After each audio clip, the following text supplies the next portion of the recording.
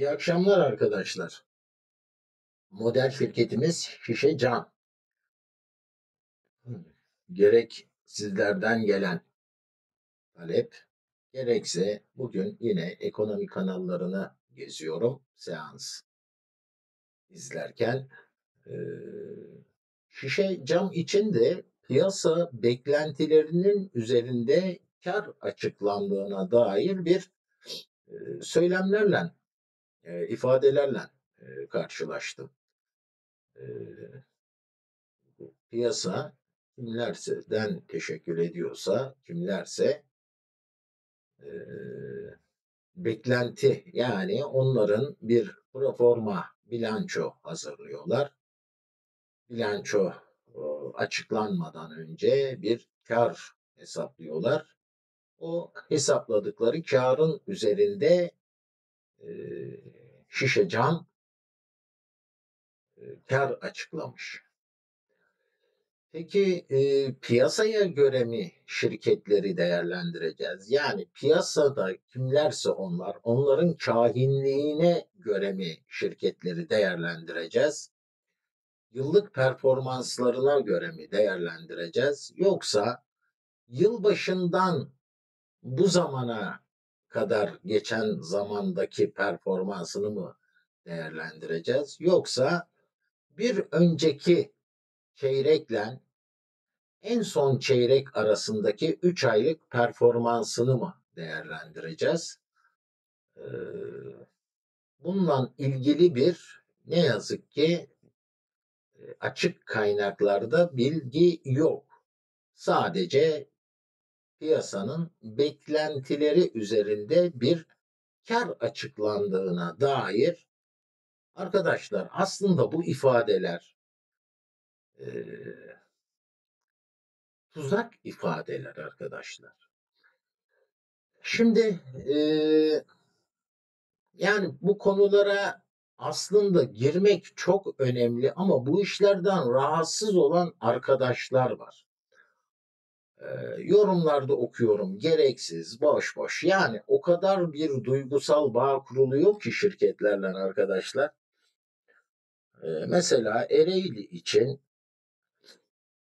kanala yeni abone belli ki.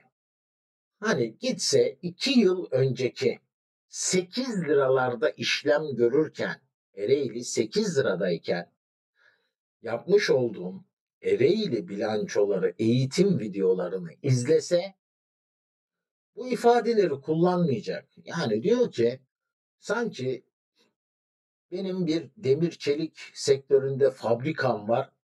Ereğli'de benim rakip şirketim. Sanki ben onu karalıyorum kendi şirketimi.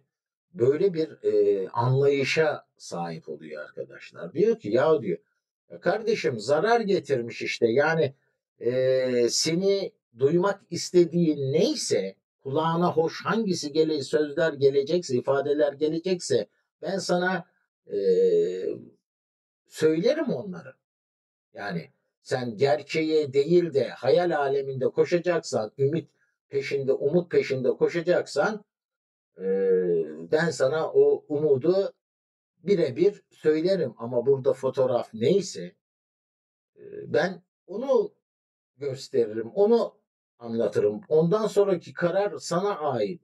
Ya diyor Ereğli diyor kar da getirse diyor sen diyor kötülemek için diyor bir kulp takarsın diyor Ereğli'ye diyor.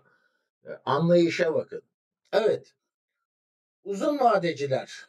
John Maynard Keynes'i tanır mısınız bilmiyorum radikal ekonomik kararlarıyla e, bilinen ünlü bir İngiliz ekonomistidir, iktisatçısıdır. Der ki uzun vadede hepimiz ölüyüz. Hani şu uzun vadede mesela yine bir arkadaşımız demiş ki uzun vadede bütün şirketler kazandırır. Ne kadar uzun vadeli bir borsa yatırımcısı bu arkadaş bilmiyorum. İşte bu anlayışa karşılık John Maynard Keynes dalgasını geçmiş. Demiş ki uzun vadede hepimiz ölüyüz. Evet doğru söylemiş. Yani uzun vadede hepimiz öleceğiz arkadaşlar. Evet. Şimdi bakacağız. Şişeye bakacağız nasıl bir performans sergilemiş. Hangi bilanço dönemi bir yıl önceki aynı çeyrekteki bilançosuna göre aktif, pasif ve gelir tablosunu değerlendirelim. Piyasa nasıl bir beklentiye sahip olmuş? Hem yıllık bazda aynı çeyreklen hem yıl sonundan bu zamana kadar hem de e, 2023'ün 6. ayıyla yani ikinci çeyreğiyle 2023'ün 3. çeyreği arasındaki bakalım kar artmış mı? Mutlak olarak değerlendirilince e, tabii arkadaşlar yani peçeli olarak görürseniz gerçeği göremezsiniz. Evet. Çok pardon. 2022'nin 3. çeyreği ile 2023'ün 3. çeyreği bilanço düzenlemesine göre e, aktiflerden değerlendirmeye başladığımızda toplam aktifler içerisinde hazır değerlerin payı bir önceki dönem yüzde on iki buçuktan inceleme döneminde yüzde on dörde reel olarak yüzde yaklaşık 26 artış kaydetmiş hazır değerleri. Ama hazır değerlerin artış ya da azalışı nakit akış tablosunda bizim için daha geçerli. Nakit akım tablosunda bakacağız. Burayı unutmayalım. Nakit akışında da eğer e, hazır değerlerde bir artış söz konusuysa tamam doğrudur. Finansal yatırımları işletmenin stabil kalmış. Toplam varlıklar içerisinde bir önceki yılın aynı çeyreğine göre inceleme döneminde çok büyük bir farklılık göstermemiş.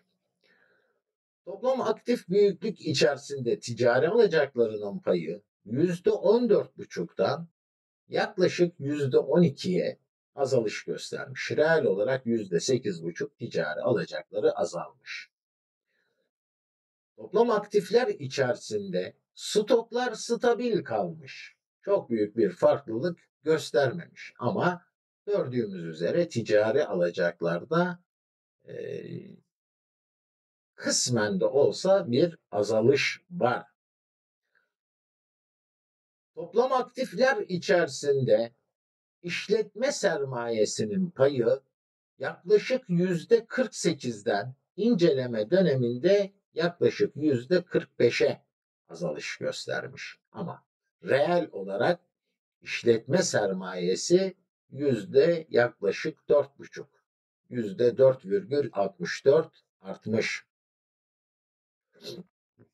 Üretim sermayesine baktığımızda toplam aktifler içerisinde yüzde yirmi dokuz buçuktan yüzde otuz iki buçuğa reel olarak yüzde yirmi üç buçuk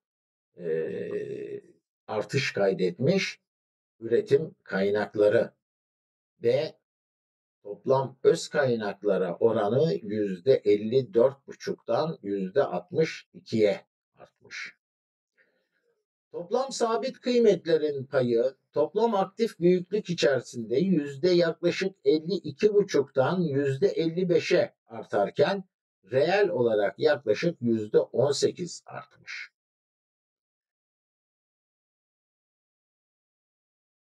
Şirket aradan geçen bir yıllık zaman zarfı içerisinde yani 2022'nin 3. çeyreği ile 2023'ün 3. çeyreği arasındaki bilanço döneminde iktisadi olarak 87.199.654 bin TL'lik iktisadi varlık artışı kaydetmiş.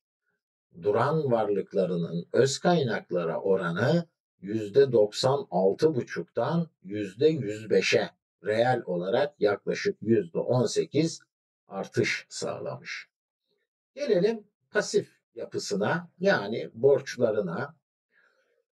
Toplam kaynaklar içerisinde maliyeti yüksek finansal borçların payı yaklaşık yüzde sekizden inceleme döneminde yüzde on üçe, reel olarak yüzde seksen beş buçuk artış kaydetmiş.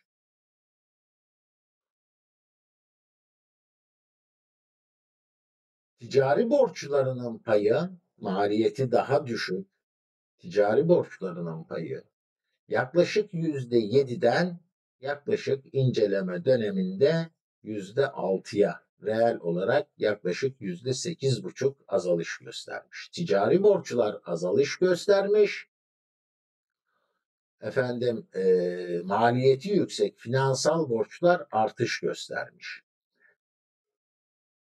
Şimdi ticari alacaklarda bir azalış vardı. Ticari alacaklarda yüzde on dört buçuktan yüzde on ikiye bir azalış vardı. Stoklar stabildi ve ticari borçlar ve maliyeti yüksek finansal borçlar artarken ticari borçlarda çok cüzi bir azalış vardı.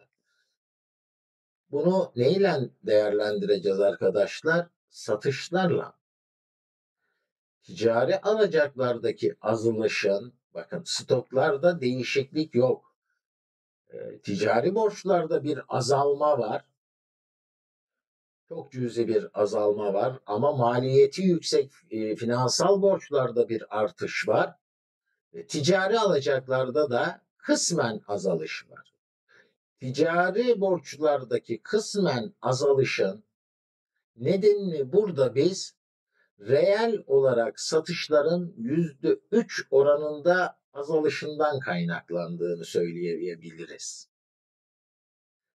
Yani bir yıl öncesine göre işletmenin reel olarak satışları yüzde üç yaklaşık yüzde üç azalış göstermiş. Ha mutlak olarak yüzde 43 artmış net satışlar. Bakın arkadaşlar.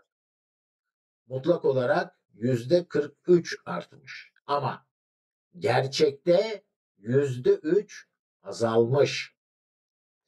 Bakalım işletmenin dış ticaret işlemlerine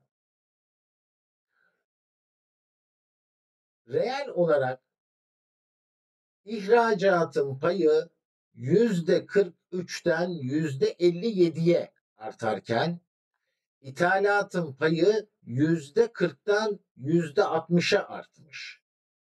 Çok cüzi de olsa işletme dış ticaret işlemler açığı vermiş, cari açık vermiş. Niçin? İthalat giderleri ihracat gelirlerinin üzerinde gerçekleşmiş.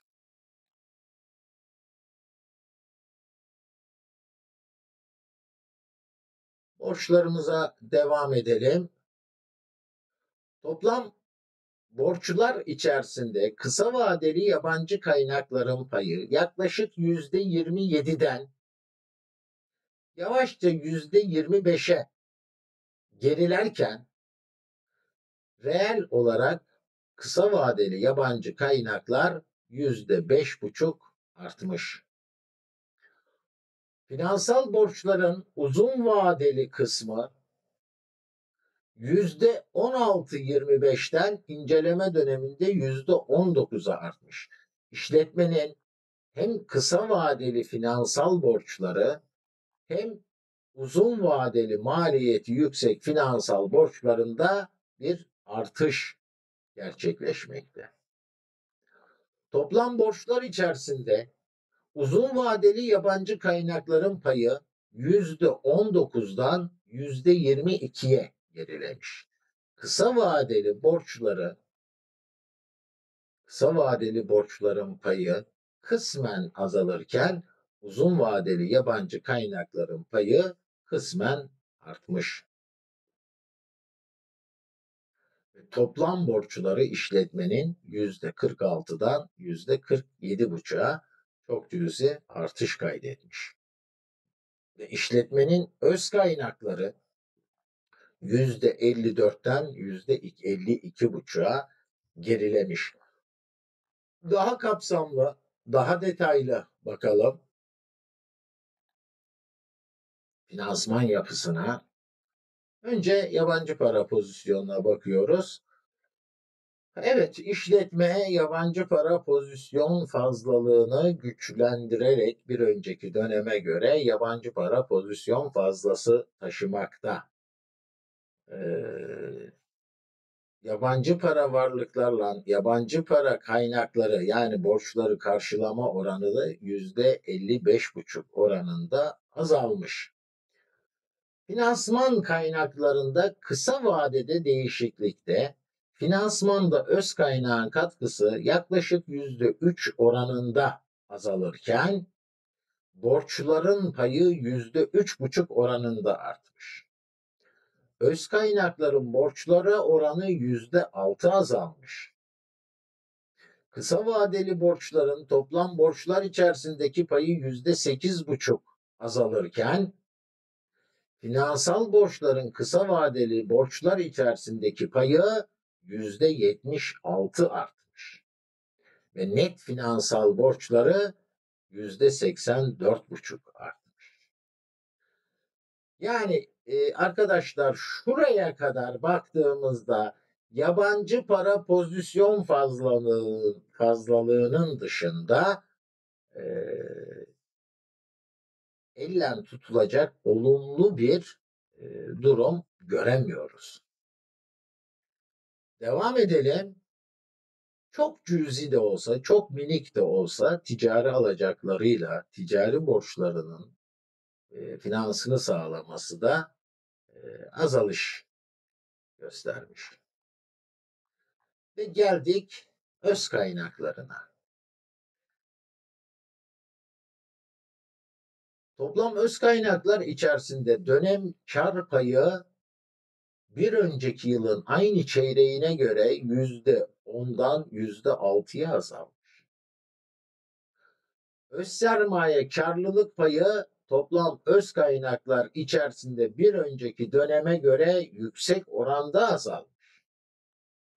Toplam öz kaynaklar yüzde iki buçuk oranında ödenmiş sermaye yüzde yetmiş dört oranında içsel sermaye yaratım geçmiş yılların karı, dönem karı ve dağıtılmamış yedek akçelerden oluşmakta. Ve toplam öz kaynaklar bir yıl içerisindeki aynı çeyreğe göre yüzde 54'ten toplam öz kaynaklar içerisindeki payı yüzde 54'ten yüzde 52,5'a azalırken reel olarak yüzde 8,5 oranında artmış toplam öz kaynaklar. O zaman buradan hemen ortak ve şirket karlılığına gidelim. E, bu bir DuPont analizi değildir arkadaşlar. E, bunu karıştırıyor arkadaşlar. Burayı DuPont analizi zannediyorlar. Hayır arkadaşlar. Bu gösterge DuPont analizinden daha anlamlı ve daha önemlidir. Şirket karlılık oluşumu ve ortak karlılığının oluşumu DuPont analizinden daha anlamlı ve daha önemlidir. Şirket karlılığı yüzde otuz buçuk azalmış. Niçin? Sürüm yüzde on üç azalmış satışlarda. Satış karlılığı yüzde yirmi azalmış. Katkı payı yüzdesi yüzde dokuz azalmış. Emniyet marjı yüzde on yedi buçuk azalmış. Yüzde on yedi buçuk emniyet marjının azalması demek yüzde on yedi buçuk riskin artması demek. Arkadaşlar hatırlayalım. Bir şirketin kar elde edebilmesinin üç temel koşulu vardı. Üç temel şartı vardı. Üç olmazsa olmazı vardı. Bir, reel satışları artıracaksın. İki, maliyetlerini düşüreceksin. Üç, katkı payı yüzdeni artıracaksın. Burada üç koşulda şu ana kadar gerçekleşmediğini görüyoruz. Gelelim ortak karlılığına. Şirket karlılığı yüzde otuz buçuk oranında azalırken ortak karlılığı yüzde otuz bir buçuk oranında azalmış. Ortak karlılığının oluşumuna bakalım. Borçların öz kaynaklara oranı yani borçlar öz kaynaklara oranladığımızda borçlar yüzde altı buçuk oranında artmış. Varlık karlılığı yüzde otuz buçuk oranında azalırken şirketin borçlarının maliyeti yüzde dört yüz altı azalmış.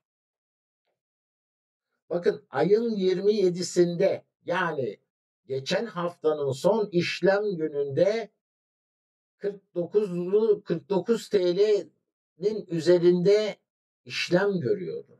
Bu şirketin bugün e, dün e, hafta sonunda bilançosu açıklandı. Bugün ilk işlem gününde e, negatif işlem yapmaya başladı. Boşuna değil arkadaşlar. Tamamen bilanço satılıyordu. Ve net ortak karlılığı yüzde 46,5 oranında azalmış. Evet, gidelim gelir tablosuna, piyasanın beklentisi üzerindeki gelir tablosuna. Yurt içi satışları yüzde üç buçuk azalırken yurt dışı satışlar yüzde üç buçuk oranında azalmış. Biri yüzde üç altmış beş, diğeri yüzde üç kırk azalmış. Brüt satış yüzde üç buçuk azalmış. Toplam hasılat, toplam net satış reel olarak yüzde üç azalmış. Peki maliyetler ne yapmış? Bir önceki dönem toplam gelirler içerisinde maliyetlerin payı yüzde altmış bir buçuktan inceleme döneminde yaklaşık yüzde altmış altıya reel olarak yüzde dört artmış. Bakın net satışlar reel olarak yüzde üç azalırken maliyetler yüzde dört artmış. Dolayısıyla gayri safi işletme karı toplam gelirler içerisindeki payı bir önceki dönem yüzde otuz sekiz buçuktan inceleme döneminde yüzde otuz dörde gerilemiş. Ve reel olarak gayri safi işletme karı yaklaşık yüzde on dört azalmış. Ey piyasa! Devam edelim. Faaliyet giderlerinin payı yüzde on dokuz otuz ikiden yavaşça yüzde on dokuz yetmiş üçe artmasının neticesinde net faaliyet karlılık payı yüzde on dokuzdan yüzde on dört buçuğa reel olarak yüzde 27 azalmış. İşletmenin olağan gelirlerinin payı bir önceki döneme göre stabil kalmış.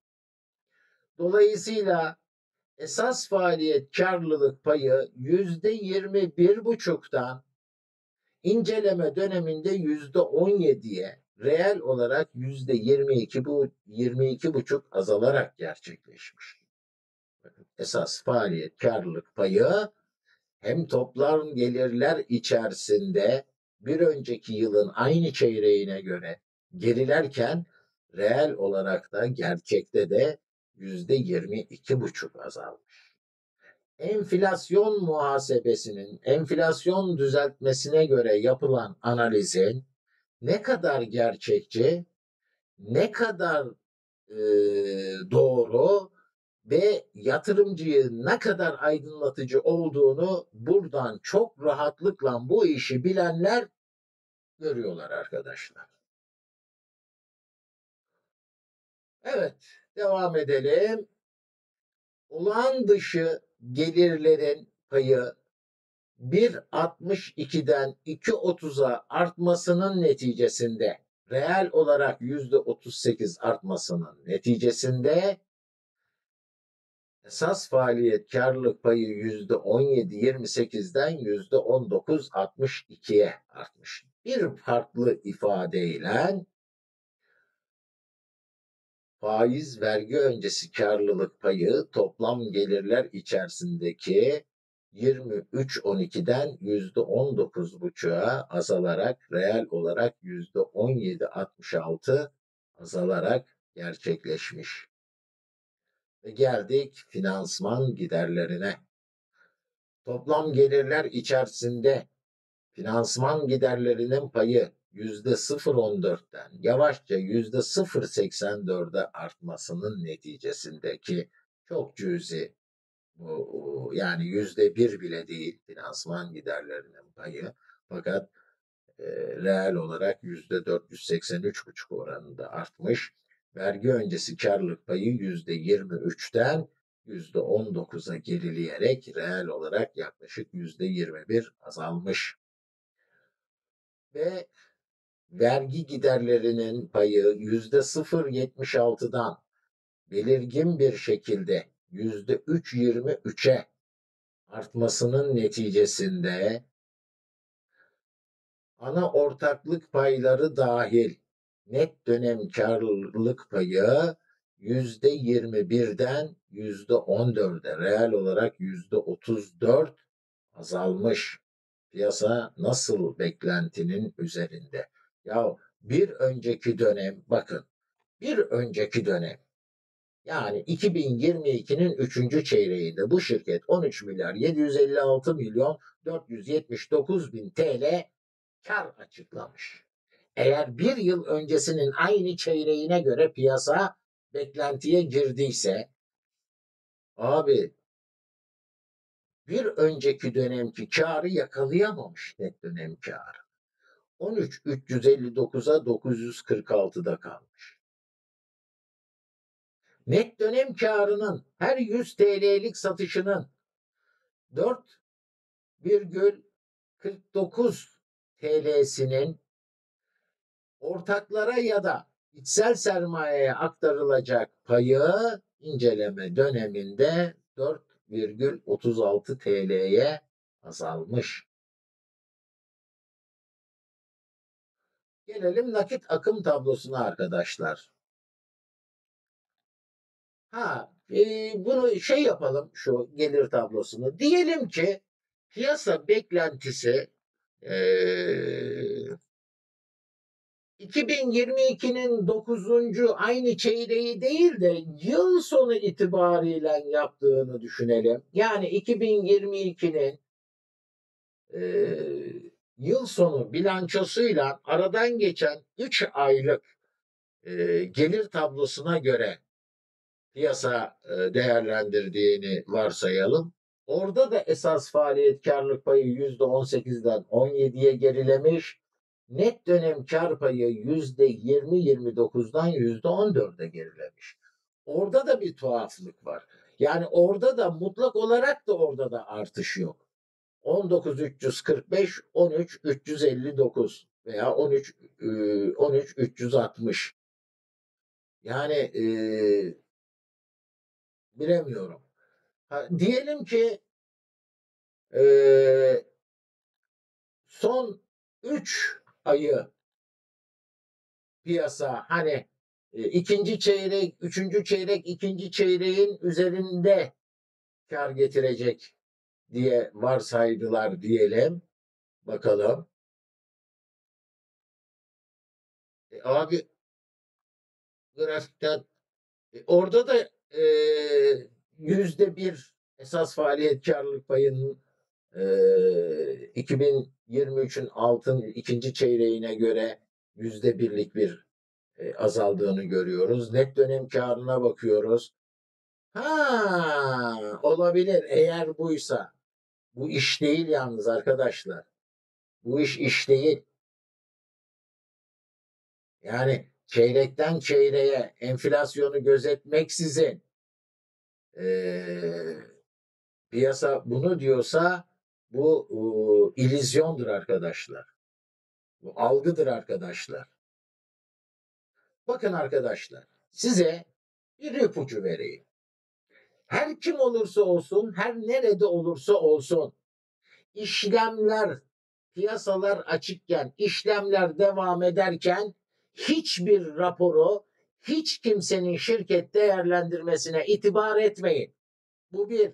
İkincisi çok önemli bir şey söyleyeceğim. Bakın başka bir şey söyleyeceğim. Aktif olarak piyasayı izleyenler, takip edenler.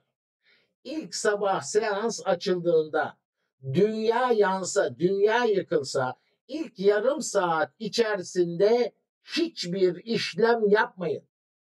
Ne alış ne satış. Bekleyin. ilk yarım saat bekleyin. Piyasanın oturmasını bekleyin arkadaşlar. Ne çıkan hissenin peşinden koşun ne düşen hisseninden kaçmaya çalışın. İlk yarım saat sükunetinizi, sakinliğinizi, otokontrolünüzü kaybetmeyin. Bekleyin. Yarım saat sonra piyasa otursun, ondan sonra hareket edin. Evet. Ee, geldik nakit akım tablosuna ama tabii e, biz yıllık olarak değerlendiriyoruz. Düzeltelim. Gene 2022'nin 3. çeyreğine alalım ve nakit akım tablosunu değerlendirelim. Bakalım. Hemen rapora gidelim. İşletme faaliyetinden nakit akışı %435. Esas operasyonlardan 326. Gayet güzel. Şirket dönem karı 14.744-741 olmasına karşın nakde dönüştüren dönem karı 26.540 yüzde 80 açıklamış olduğu dönem karının üzerinde güzel. Ve şirket işletme faaliyetinden 26.540-132 nakit oluşturmasına karşın 2023 yılında hazır değerleri 6 milyar 101 milyon artış göstermiş. Evet arkadaşlar varlık aktif içerisinde de hazır değerlerinin arttığını görüyoruz. E, nakit akımşından ötürü hazır değerlerinin de arttığına tanık oluyoruz. Satışlardan nakit girişinin satılan malın maliyetinden kaynaklanan nakit çıkış oranı yüzde 144 olarak yani satışlardan giren nakitle e, sattığı malın maliyetini karşıladığını görüyoruz. O da gayet güzel. Yatırım faaliyetlerinden nakit girişi %100'ün altında %24 düzeyinde olup şirket yatırım faaliyetlerinden 18, 120, 607 nakit açığı vermiş. E, şu açılım, şu ifade bize yani oranın yüzde yüzün altında gerçekleşmesi şirketin yatırımlara gittiğini, yatırımlarını fonladığını göstermekte. Şimdi fon kaynak tablosunda da göreceğiz. Ve yatırıma giden şirketlerin nakit açığı vermesi son derece olağandır. Finansman faaliyetlerinden nakit girişi, yatırım faaliyetlerinden nakit çıkış oranı yüzde 18,5 azalmış. Bunları ben daha önce anlattım. Vergi öncesi dönem karı vasat kalmış. Nakit akışına düzeltilmiş kar da yüzde 179 oranında gerçekleşmiş. Gelelim fon kaynak kullanımına. Bakalım arkadaşlar şimdi. Şimdi bakın arkadaşlar. Fonların yüzde 61'lik kısmı yüzde 60,86'lık kısmı faaliyetlerinden elde edilmekte. Gördüğünüz üzere. Fakat 13 milyar 359 bin 360 bin dönem karına karşılık şirket asıl fonu amortisman karından sağlamış. 32 milyar 600, 680 bin amortisman kar yazmış. Bakalım devam edelim. Evet onların yüzde 60,86'lık kısmı toplam kaynağı oluştururken Evet, maddi duran varlıkların yüzde 59, 58,93 e, ana kullanım olmuş. Yani e, şirket varlıklarını, yatırımlarını fonlamış. Zaten bunu nerede görmüştük? Nerede görmüştük? Bakın arkadaşlar bunların her biri birbirini teyit eder maddi duran varlıklar %29.44'ten %32.5'a reel olarak %23.5 artış göstermiş. Toplam öz kaynaklar içerisindeki payı da %54,5'dan %62'ye artmış. Nereden anlıyoruz? Neresi bize bunu teyit ediyor, okeyliyor? Fon kaynak kullanımında bakın maddi duran varlıklar %58.93 ana kullanım olmuş. Bakalım rapora. Fonlar %60-86 kısmı faaliyetlerinden elde edilmekte ve e, kaynak faaliyetleri ana kaynak olmuş. %59 ağırlıkla maddi duran varlıklar ana kullanım olmuş. Yatırımlar %59 fon harcamış. Evet.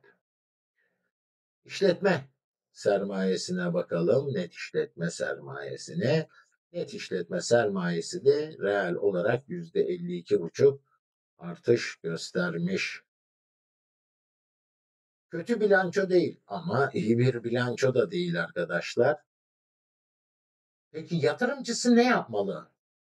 Bir kötüye gidişat yok arkadaşlar. Üçüncü çeyrekteki bakın hemen hemen gelen bilançolar hemen hemen aynı performansı sergiliyorlar. Yani üçüncü çeyrekler şu ana kadar gelen baktığımız bilançolar içerisinde çok parlak geçmediğini görüyoruz. Bakmadıklarımız da hemen hemen aynıdır. Ha, burada ne yapacağız? Bu parlak olmayanların içerisinde parlak olanları tespit edeceğiz. Bundan sonra bilançolarda seçicilik son derece önemli arkadaşlar. Bunu unutmayın. Başa başa baktık ve geldik hissenin olması gereken. Evet, haftayı 49 küsürle kapatan bilançosu açıklandıktan sonra haftanın ilk işlem gününde 48.72'ye gerileyerek kapatmış. Gerek temettü kapitalizasyon yöntemi, gerekse serbest nakit akış yöntemi, gerekse Piyasa katma değer yöntemine göre işletme her şeye rağmen olması gereken fiyatının altında işlem görüyor arkadaşlar. İyi bir bilanço değil. Çok kötü bir bilanço da değil. Eksik tarafları, performans düşüklükleri, efendim, e, karında gerileme, e, görülüyor. Ee, ama tek bir bilanço dönemiyle tü kaka diyemeyiz. Alınır mı? Şu jeopolitik risklerin yüksek olduğu dönemde ben şahsım için söylüyorum. Yani bu bir algı değil arkadaşlar. Bir yatırımcı gözüyle. Ben sonra yatırımcıyım, oyuncu değilim. Ee, ama uzun vade diye hisse hamallığına son derece karşıyım. İşte size biraz sonra e, John Maynard Keynes'in e, ekonomi sözlerini, aforizmalarını e, videoda resimler olarak paylaşacağım. Çok güzel e, tespitleri var. Anlayana, bir şeyler anlayabilene. Evet, olması gereken değerinin altında işlem görüyor ve arkadaşlar algı operasyonlarına şey yapmayın, kapılmayın, otokontrolünüzü muhafaza edin ve bundan sonra seçici olmak şirket bazında. Bakın hangi şirket olursa olsun hiç önemli değil. En iyi şirket para kaybettirmeyen yatırımcısına e, hisse senedi yatırımcısına para kaybettirmeyen, para kazandıran şirkettir. Ahmet'in şirketi olabilir, Mehmet'in şirketi olabilir. A şirketi olabilir, B şirketi olabilir. Şirketlerle duygusal bağa girmeyin. Ama şirketleri tespit ederken dediğim şekilde ben Şişe Cam Yönetim Kurulu'na da teşekkür ederim. Son derece şeffaf, son derece muhasebenin ilkelerine riayet eden, bugüne kadar en ufak sehven böyle e, toplu iğne başı kadar hiç e, sıfır e, hatayla bilanço paylaşmıştır. E, ve örnek bilançodur. Şimdi e, ben böyle söyleyince e, sanki ya kardeşim ben modelleme eğitimi verirken iki sene önce geçin geçmişe bakın özellikle şişe camın bilançolarını model olarak kullandım. Yani e, ancak e, yatırımcıların gözüne o şekilde e, sokmaya çalıştım.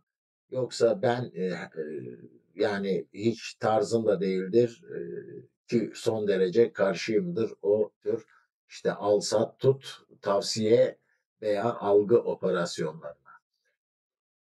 Evet arkadaşlar, tek tek her şirketi yapmaya, yetiştirmeye çalışacağım. Yine dünya kadar bilanço gelmiş bu akşam. Yavaş yavaş bir taraftan da seçici olmaya çalışacağım. Sizlerle de gelen talep ve eğitim açısından önem arz eden bilançoları sizlerle paylaşmaya çalışacağım. Herkese iyi akşamlar arkadaşlar.